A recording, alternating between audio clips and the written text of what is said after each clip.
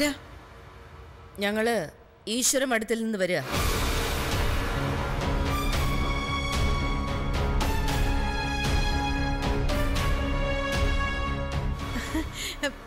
വരൂ വരൂ. അകത്തേക്കിരിക്കാലോ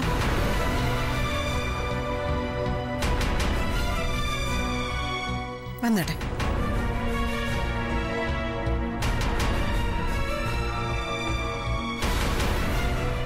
ഇരുന്നട്ടെ. ഹായ് കീർത്തി.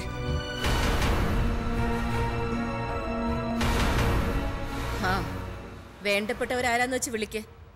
നമുക്ക് കാര്യങ്ങളിലേക്ക് കടക്കാം. അതെ അതെ. ഞാൻ വിളിക്കാം.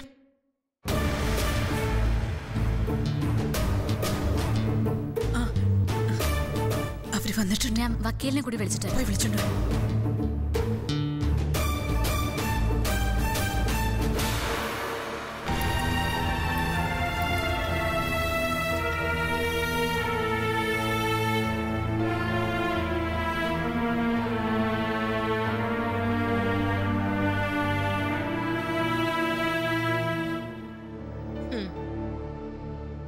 ഞാൻ എന്റെ ഭാവി മരുമകളെ കണ്ണു നിറച്ചൊന്ന് കാണട്ടെ?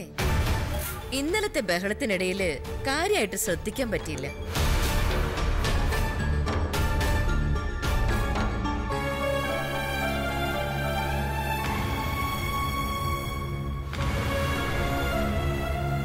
അച്ഛാ ഇവരാ. ശ്രീകുട്ടിയെ ശ്രീകുട്ടിയെ കാണാൻ വന്നേ. ഇനി എന്ത് കാണാനാ? ഒക്കെ കഴിഞ്ഞില്ലേ?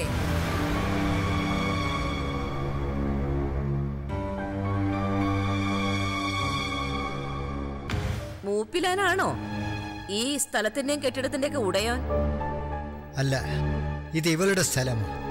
ഇവളുടെ ഭർത്താവിന്റെ അച്ഛനാ ഞാൻ.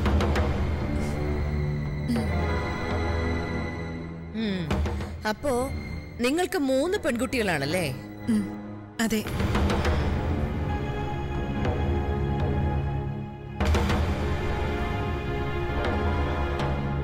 ഉള്ളത് മൂന്നായിട്ട് ഭാഗം വെക്കൂ.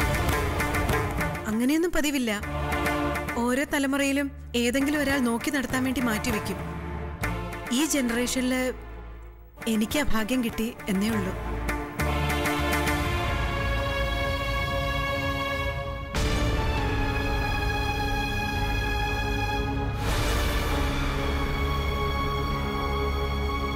കല്യാണത്തിന് മുമ്പേ വയറ്റിലുണ്ടാക്കി പേരുദോഷം കേൾപ്പിച്ചോണ്ട് ഇതൊക്കെ ശ്രീകുട്ടിയുടെ പേരിൽ എഴുതി വെക്കുമായിരിക്കും അല്ലേ?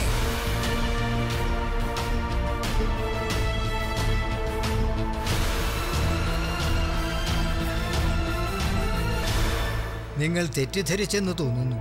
ശ്രീകുട്ടി ഈ വീട്ടിലെ പെൺകുട്ടിയല്ല.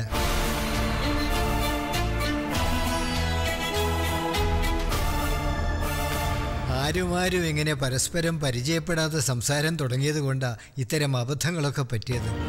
അതൊന്നും സാരമാക്കണ്ട.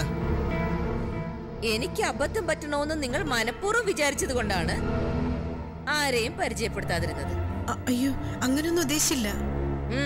കൂടുതൽ സംസാരിക്കണ്ട.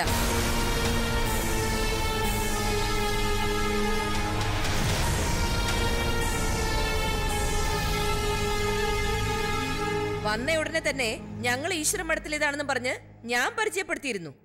ആ മര്യാദ നിങ്ങൾ തിരിച്ചു കാണിച്ചില്ല. ഈശ്വര മഠത്തിൽ നിന്നാണെന്ന് പറഞ്ഞാ പിന്നെ വേറെ ഇൻട്രൊഡക്ഷന്റെ ഒന്നും ആവശ്യമില്ല.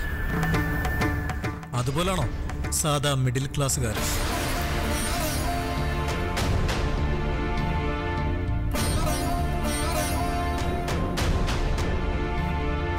ഞങ്ങളോട് പരിഭവമൊന്നും തോന്നരുത്. പരിചയപ്പെടുത്താൻ വിട്ടുപോയത് എന്റെ തെറ്റ് തന്നെയാ. ഏ, പിന്നെ ശ്രീകുട്ടിയെ മനസ്സിലായി കാണുമല്ലോ. ഇത് ശ്രീകുട്ടിയുടെ അമ്മ ശാരദ. ഈ നിൽക്കുന്നതാ ശ്രീകുട്ടിയുടെ ഏട്ടൻ ശ്രീജിത്ത്. ഇവിടോട്ട് ഇരിക്കൂ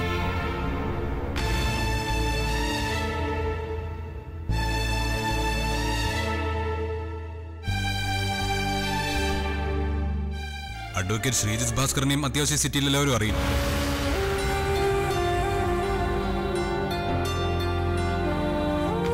നമ്മൾ തമ്മിൽ ഇതിനു മുമ്പ് കണ്ടിട്ടുണ്ട്. നല്ല ഓർമ്മയുണ്ട് എനിക്ക്. അപ്പോ ഈ കലാക്ഷേത്രയുമായിട്ട് ശ്രീകുട്ടിക്ക് ബന്ധമൊന്നുമില്ല അല്ലേ? അങ്ങനെ ചോദിച്ച എന്റെ മൂത്ത മോൾ കാവ്യെ കല്യാണം കഴിക്കാൻ പോകുന്നത് ശ്രീജിത്ത.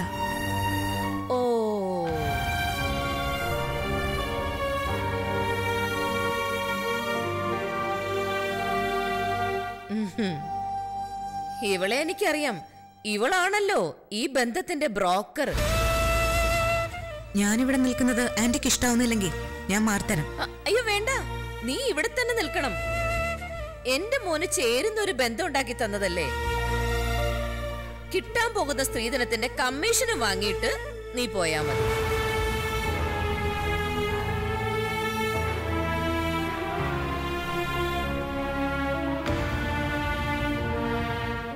കുടിക്കാൻ ചായയോ കാപ്പി എന്താ വേണ്ടെന്ന് വെച്ചാ? ഒന്നും വേണ്ട.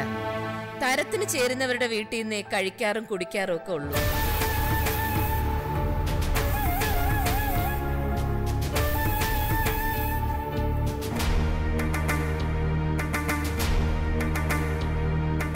എന്നാലും സ്ട്രോങ് ആയിട്ടൊരു ജ്യൂസ് കുടിക്കണമെന്ന് ശിവേട്ടന് ആഗ്രഹം കാണുമല്ലേ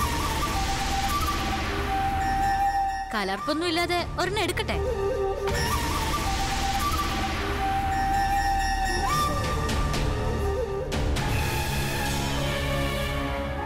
ജ്യൂസ് കുടിച്ചേ പറ്റൂന്ന് തീരുമാനിച്ച് ഈയാൻ പാറ്റകളെ പോലെ പെമ്പിള്ളേര് പറന്നു നടന്ന ആമ്പിള്ളേര് പലതും കലക്കി തന്നിരിക്കും. അവരെ മാത്രം കുറ്റം പറഞ്ഞിട്ട് കാര്യമില്ല മോളെ.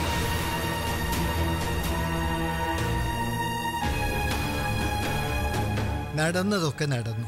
ഇനി അതും ഇതും പറഞ്ഞ് തർക്കിച്ചിട്ട് ഒരു കാര്യമില്ല നമുക്ക് മറ്റു കാര്യങ്ങളിലേക്ക് കടക്കാം. നിങ്ങളുടെ പെണ്ണിന് നിങ്ങൾ എന്ത് കൊടുക്കുമെന്ന് പറഞ്ഞു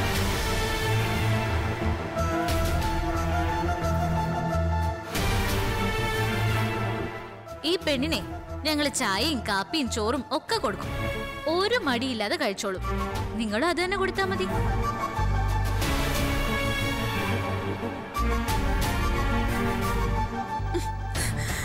ധിക്കാരം പറയുന്നോ? ഞങ്ങളെ വീണ്ടും അപമാനിക്കാൻ വേണ്ടിയാണോ നിങ്ങളുടെ ശ്രമം? ഞാൻ ഒരു ധിക്കാരവും പറഞ്ഞില്ല. നിങ്ങൾ പെണ്ണിന് എന്തു കൊടുക്കുമെന്ന് ചോദിച്ചത് സ്ത്രീധന ഉദ്ദേശിച്ചാണെന്ന് ഞങ്ങൾക്ക് മനസ്സിലായി. ആ ചോദ്യത്തിന് മറുപടി പറയേണ്ട ഒരു മിണ്ടാതിരിക്കുന്ന കണ്ടപ്പോ പ്രതികരിച്ചു പോയതാ. കീർത്തി മുതിർന്നവർ സംസാരിക്കുന്നതിന്റെ ഇടയ്ക്ക് അഭിപ്രായം പറയരുത് ഞാൻ പലതവണ നിന്നോട് പറഞ്ഞിട്ടുണ്ട്. അകത്ത് പോ.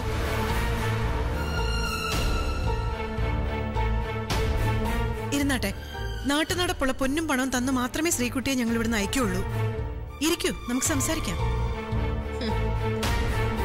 ഞങ്ങളുടെ കുടുംബത്തിന്റെ അന്തസ്സും ആഭിജാത്യവും അനുസരിച്ച് എന്റെ മകന് കിട്ടാവുന്ന സ്ത്രീധനം കോടികളാണ്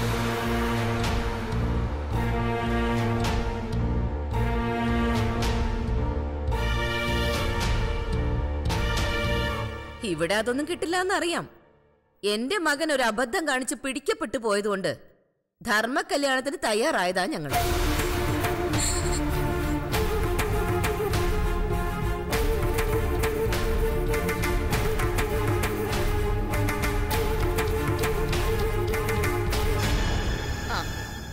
കാര്യം കൂടി ഞാൻ പറഞ്ഞേക്കാം. കല്യാണം നടത്തിയാലും പ്രസവം കഴിയുന്നതുവരെ ശിവയും ശ്രീകുട്ടിയും രണ്ട് മുറിയിലേ കഴിയും.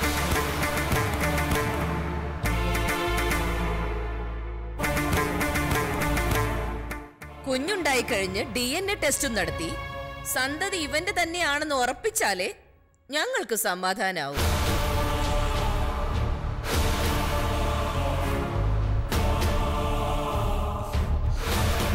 അതെ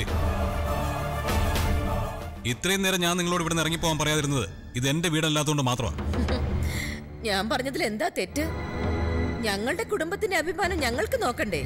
നിങ്ങൾക്ക് വേറെ ആരെങ്കിലും സംശയം ഉണ്ടെങ്കിൽ അവരുടെയും ഡി എൻ എ പരിശോധിക്കാം. ചിലപ്പോ ഒരു നീണ്ട ലിസ്റ്റ് തന്നെ കാണും ഇവളുടെ കയ്യിൽ.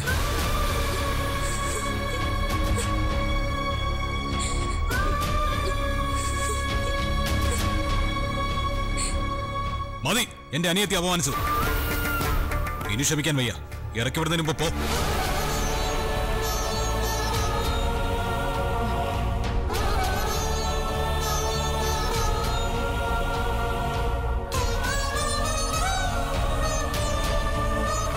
ജീവൻ നിങ്ങൾ ഇങ്ങോട്ട് അയച്ചത് ഞങ്ങളെ കളിയാക്കാൻ വേണ്ടിയാണെന്ന് ഇപ്പോഴാ മനസ്സിലായത്. നിങ്ങളുടെ കുടുംബത്തിൽ ഞാൻ ഇവളെയും കൂട്ടി വന്നത് നിങ്ങൾക്ക് ഇൻസൾട്ടായി കാണുന്നു അതിന്റെ പതിന്മടങ്ങ് അപമാനം എനിക്കും എന്റെ കുടുംബത്തിനും ഉണ്ടാക്കാൻ വേണ്ടിയിട്ടാണ് അയാൾ നിങ്ങളെ വേഷം കെട്ടി ഇങ്ങോട്ട് അയച്ചത്. അയാളോട് പോയി പറഞ്ഞേക്ക്. ശിവയ്ക്ക് കൊടുക്കാൻ ഇവിടെ പെണ്ണില്ലാന്ന്. വക്കീൽ ചാർജ് ആയല്ലോ.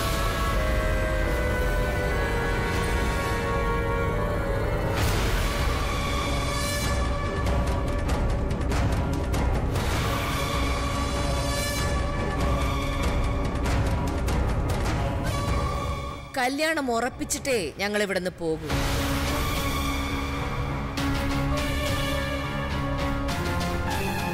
ഞാനും ശ്രീയും പറഞ്ഞത് നിങ്ങൾക്ക് മനസ്സിലായില്ലേ? ഈശ്വര മഠത്തിലേക്ക് കൊടുക്കാൻ ഇവിടെ പെണ്ണില്ല.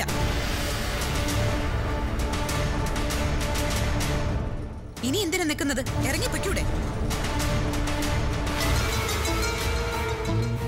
മോളെ കല്യാണം ഉറപ്പിക്കാതെ ചെന്നാൽ ജീവയും അമ്മയും ഞങ്ങളെ വീട്ടിൽ കയറ്റില്ല. ഒരു ജീവ അയാളോട് പോയി പറഞ്ഞേക്ക് ഇത് സിനിമയല്ലാന്ന്. കാവ്യ.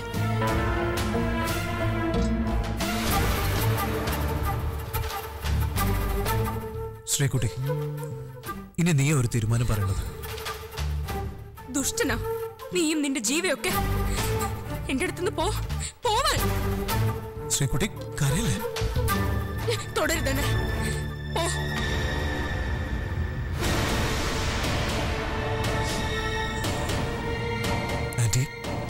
ശ്രീകുട്ടന് കാവ്യം പറഞ്ഞത് മാത്രമേ എനിക്ക് പറയാനുള്ളൂ. എന്റെ മോൾക്ക് നിന്നെ പോലൊരു ഭർത്താവിനെ ഇവരെ പോലെ മനസാക്ഷിയില്ലാത്തൊരു അമ്മായിമ്മ വേണ്ട. അതിൽ നല്ലത് എന്റെ മോളങ്ങ് ചത്തുപോകുന്നതാ.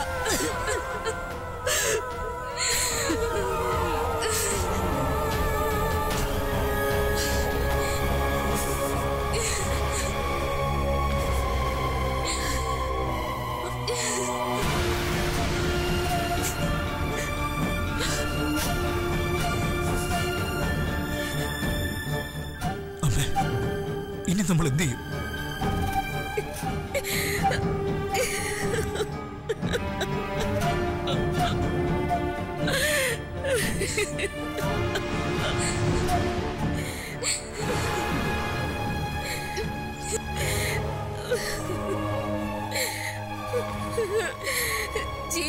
അമ്മയോടും ഇനി എന്ത് സമാധാനം പറയൂ എന്റെ ഈശ്വരന്മാരെ?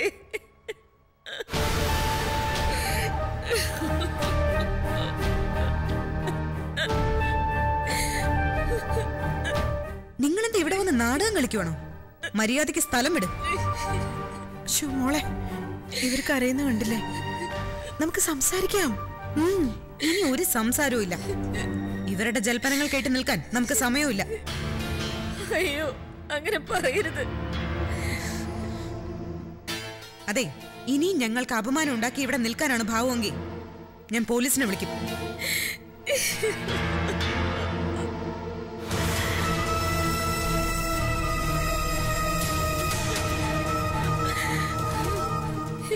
ഇനി ഇവിടെ നിന്ന ഇവർ നമ്മളെ തല്ലും മോനെ.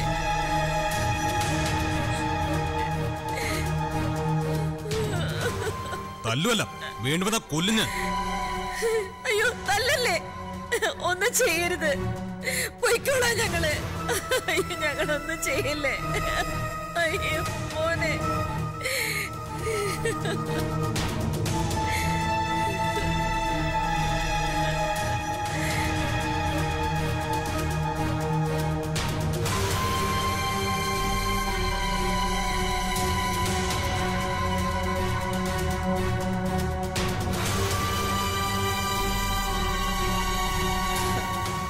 ഇന്നലെ നീ എന്നെ എന്താ വിളിച്ചത്? വിഷപ്പാമ്പ് അല്ലേ? അതെടി. വിഷം ഇത്തിരി മുറ്റിയനം തന്നെയാ ഞാൻ.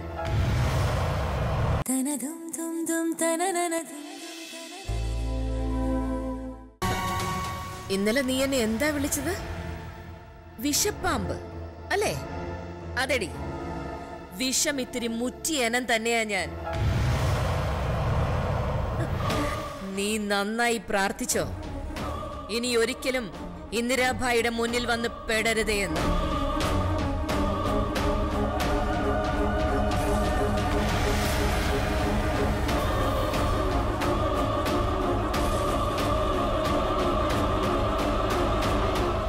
ഈശ്വരമഠത്തിലെ കെട്ടിലമ്മയാകാന്നുള്ള നിന്റെ മോഹം ഈ ഇന്ദിരാഭായി ജീവിച്ചിരിക്കുമ്പോ നടക്കില്ലടി.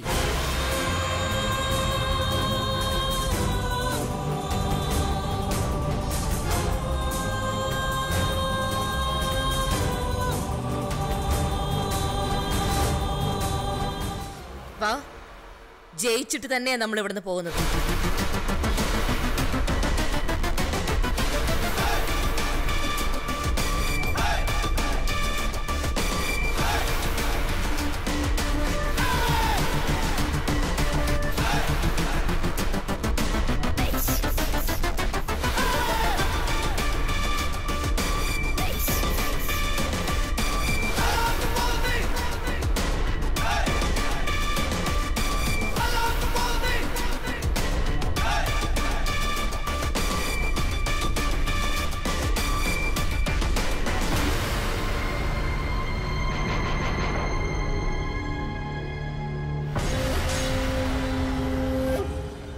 ഈ സ്ത്രീകന്ധ മോളെ ഭ്രാന്തായോ ആദ്യം അഹങ്കാരവും ദേഷ്യവും പിന്നെ പെട്ടെന്നൊരു കരച്ചിലും പിന്നെ വീണ്ടും ദേഷ്യം. ഇത് ഭ്രാന്തല്ലാതെ മറ്റെന്താ? അഹങ്കാരം.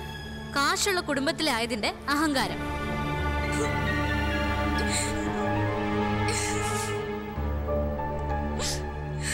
അഹങ്കാരായാലും ഭ്രാന്തായാലും അതിനിരയാകേണ്ടി വന്നത് എന്റെ പോള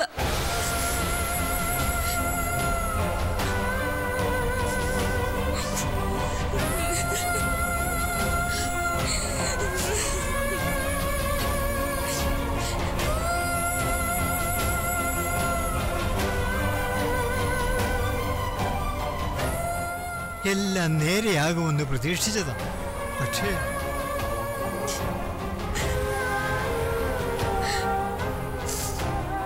കരയാതെ പോട്ടെ. നമ്മൾ എല്ലാരും കൂടെ ചേർന്ന് ശ്രീകുട്ടിക്ക് ധൈര്യം കൊടുക്കല്ലേ വേണ്ടത്? ഒറ്റപ്പെട്ടു എന്നൊരു തോന്നൽ അവർക്ക് ഒരിക്കലും ഉണ്ടാവരുത്.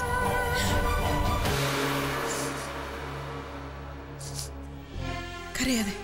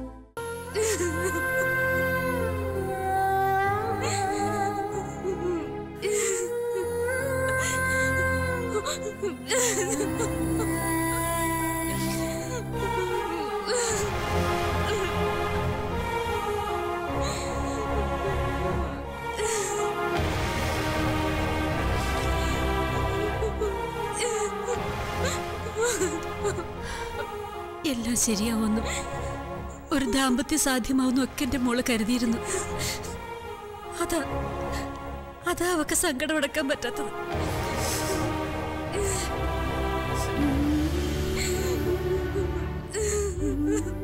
കരയാതിരിക്ക ഇനി ധൈര്യത്തോടെ ജീവിതത്തിൽ പൊരുതേണ്ട കാലോ. അവരോരോന്ന് പറഞ്ഞു തുടങ്ങിയപ്പോ മുതൽ ഞാൻ ആകെ പുകഞ്ഞു നിൽക്കുകയായിരുന്നു. കീർത്തി ദേഷ്യപ്പെട്ടപ്പോഴും തടയാതിരുന്നത് എന്റെ ദേഷ്യവും വിഷമവും ഒക്കെ കൊണ്ടായിരുന്നു.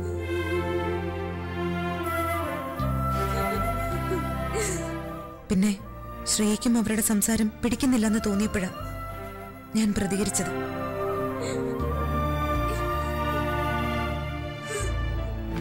ഞാൻ കാരണം നിന്റെ ജീവിതം ഇല്ലാതായെന്ന് നിനക്ക് തോന്നുന്നുണ്ടോ?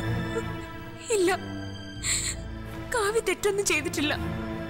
ഞാനാ തെറ്റുകാരി.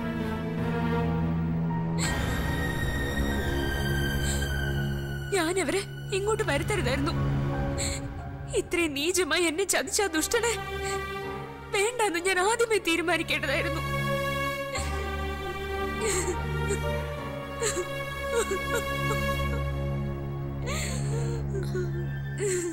അങ്ങനൊന്നും വിചാരിച്ച് സങ്കടപ്പെട്ടിട്ട് കാര്യമില്ല മോളെ.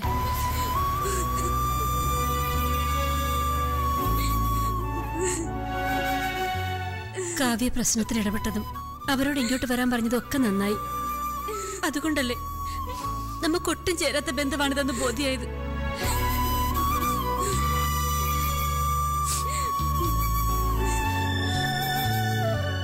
ശ്രീകുട്ടൻ മുമ്പ് പറഞ്ഞതുപോലെ ഇവളുടെ കുഞ്ഞിനും ഇവളുടെ കുഞ്ഞിന് ഇനി അച്ഛൻ വേണ്ട. അമ്മ മാത്രം മതി. അത് മതി. അമ്മയും കൂടി കരഞ്ഞ് ഇവളെ കൂടുതൽ വിഷമിപ്പിക്കാതെ.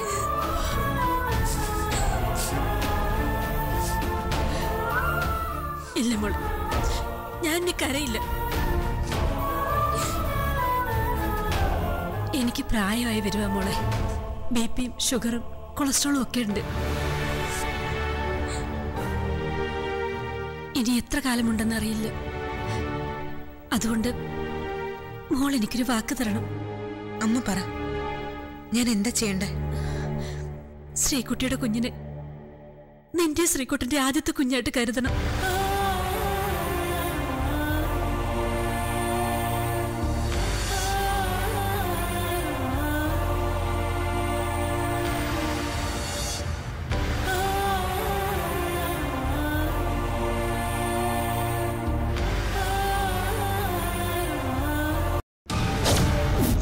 ശ്രീകുട്ടിയുടെ ചേട്ടന് പറ്റിയതുപോലെ നീയും ഇനി കോടതി കയറാൻ പറ്റാതെ തേണ്ടും കുറിച്ചിട്ടോ നീ? നിന്റെ കൗണ്ട് ഡൗൺ തുടങ്ങിക്കഴിഞ്ഞു.